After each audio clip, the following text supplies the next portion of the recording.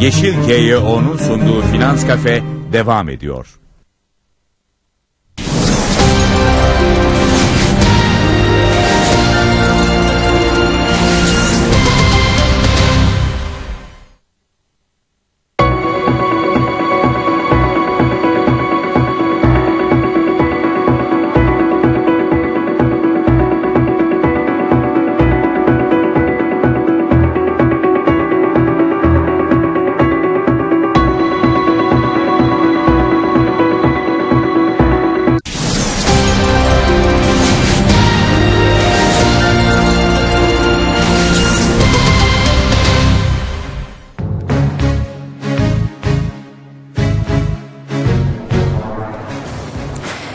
Finans Kafe emlak hakkında her şeyle devam ediyor. Emlak hakkında her şey dediğimizde son bir haftada yaşadıklarımıza da şöyle bir bakacağız. İnşaatta itibar yönetimi diyeceğiz. Yolsuzluk operasyonu ve ardından yaşananlar e, tüketicinin talebinde azal, azalma olup olmayacağı ve fiyatları nasıl etkileyeceği işte tüm bunlara bakacağız değerli konuğumla birlikte.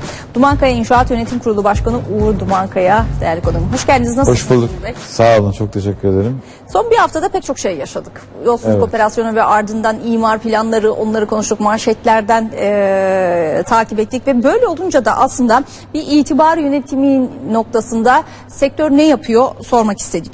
Özellikle güvene dayalı bir sektör olduğu için son bir haftada sizler ne yaşadınız?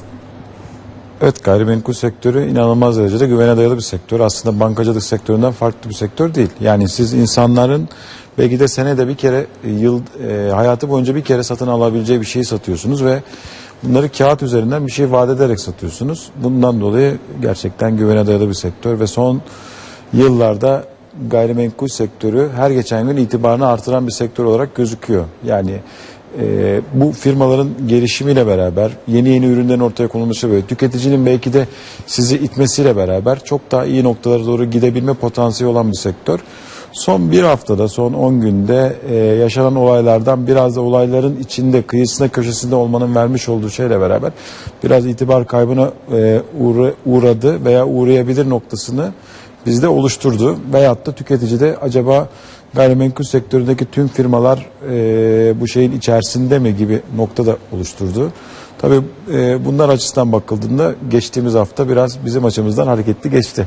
Evet. Tüketici ne yaptı? Bekle göre mi geçti? Nasıl tepki verdi? E, talebi azalttı mı? Bir kere e, bu sene bu ikinci olay, birinci olay Gezi Parkı olayıydı ve Gezi Parkı olaylarında biz gerçekten ciddi anlamda etkilendik. Hani bunu olayların içindeyken değil de olaylar geçtikten sonraki olan sürece geriye dönüp baktığımızda bunu gözlemledik. Özellikle Haziran ayında bütçelerimizi, bütçelediğimiz satışların %35'lerine kadar indik.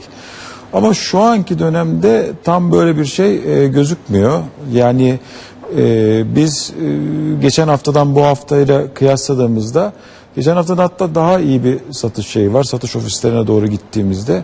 Tabii bunda biz biraz daha kampanyaları e, daha sert kampanyalar oluşturup ileride oluşabilecek olan sıkıntıları şimdiden revize etmek ve kendi adımıza e, bir takım tedbirler almanın da faydaları olduğu söylenebilir. Çünkü ee, bir de e, şeyde Gezi Parkı olaylarında yurt dışından alımlar hızlıca kesilmişti. Şu anda tam tersi e, artış var. Yani e, Nereden özellikle?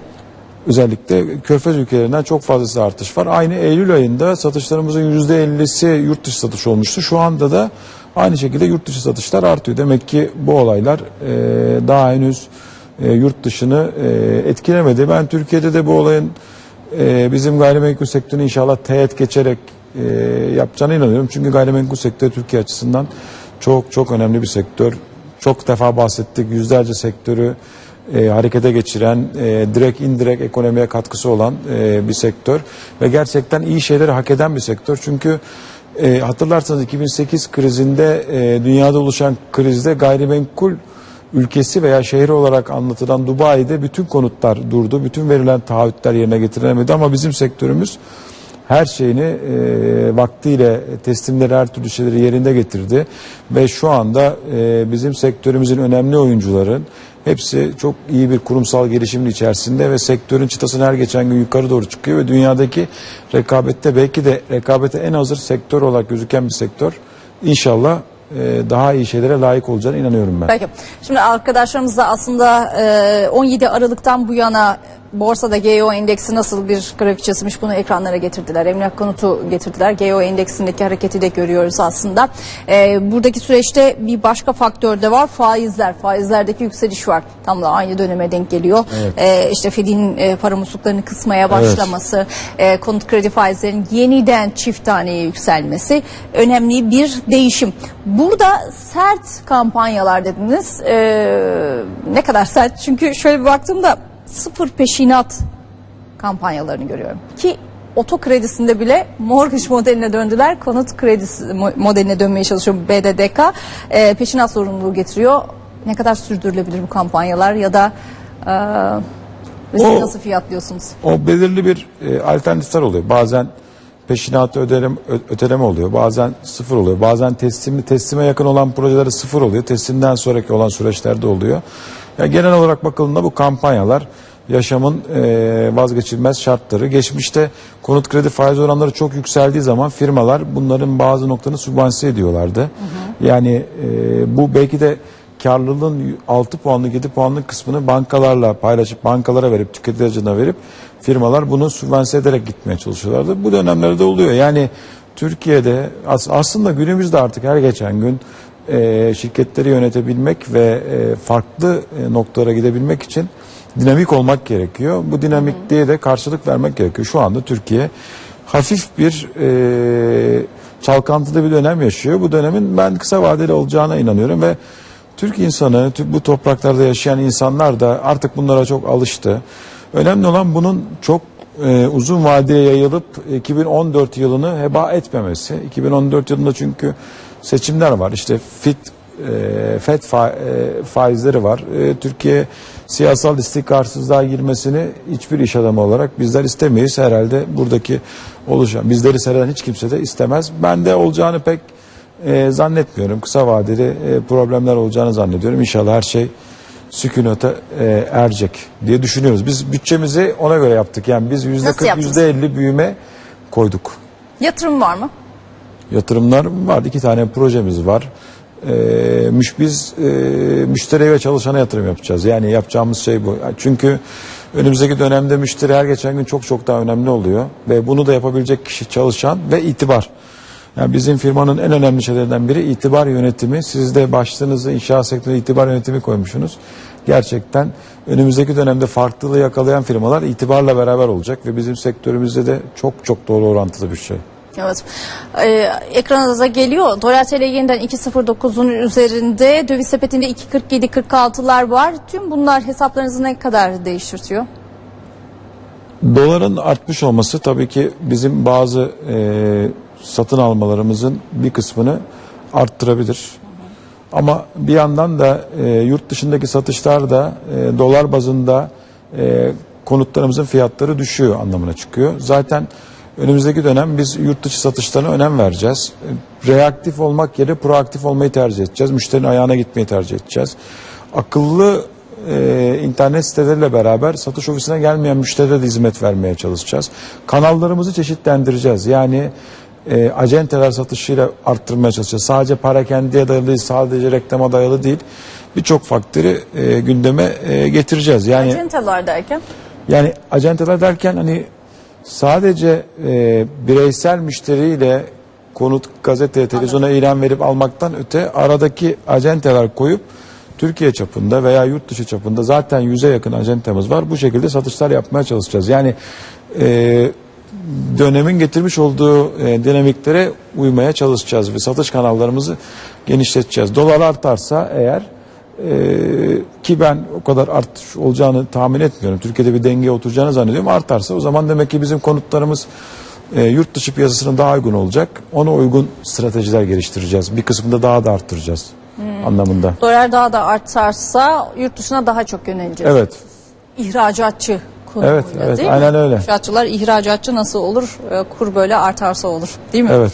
Şimdi devam ettiğimizde peki e, aslında maliyetlerden bahsediyorsunuz kurdan e, bahsederken ama arz fazlalığı da dikkat çekiyor. İşte sıfır peşinat, e, Evet. sıfır faiz, e, senetli satışlar var. Yani kendi oluşturduğunuz senetlerle satışlar var ki bu genel sektör itibariyle %51'lerin de üzerine çıkmış durumda. Evet. Fiyatlar ucuzlar mı?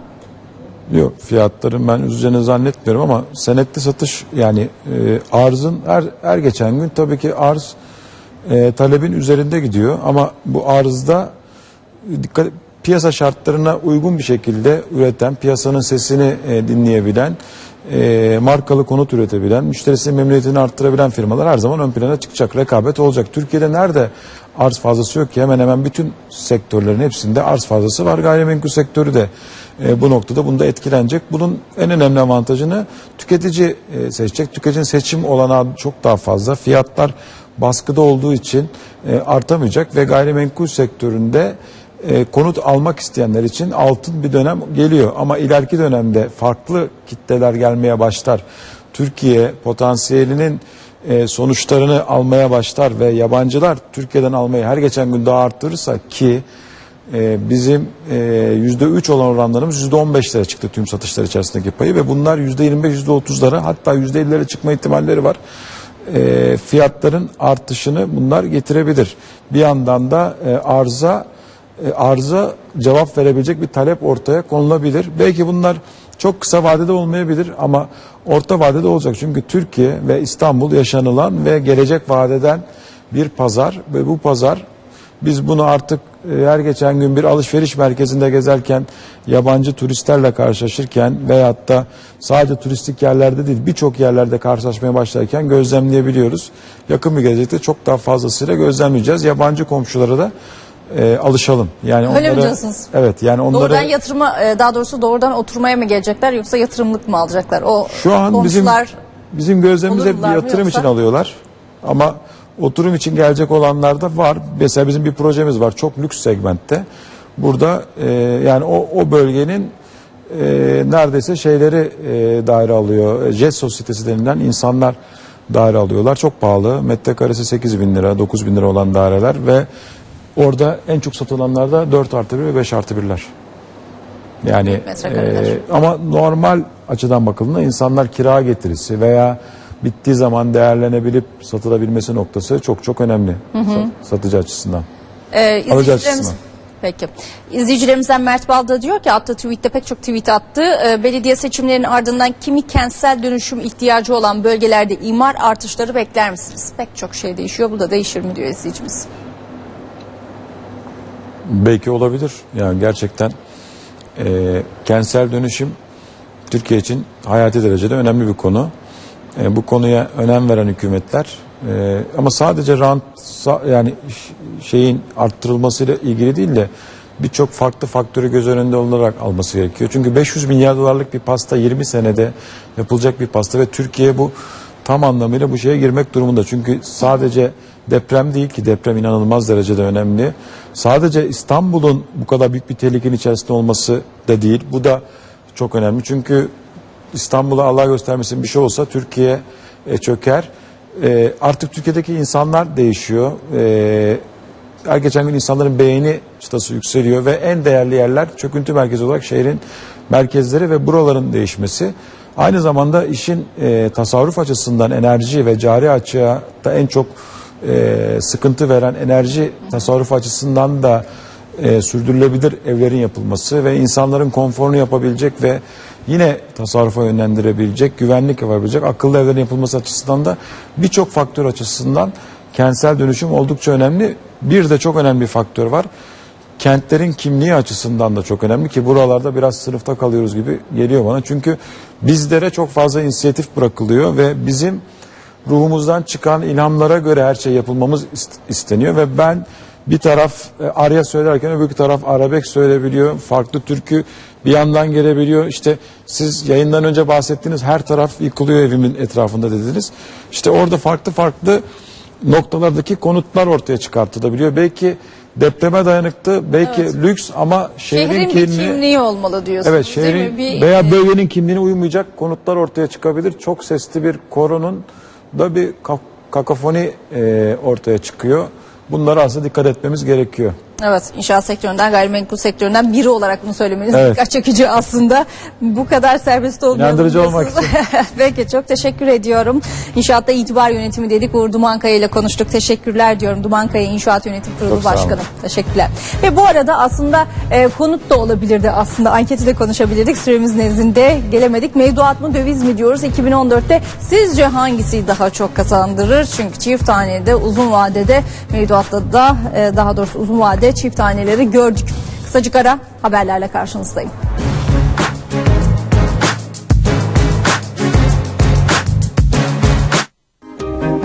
Yeşil GYO'nun sunduğu Finans Kafe devam edecek.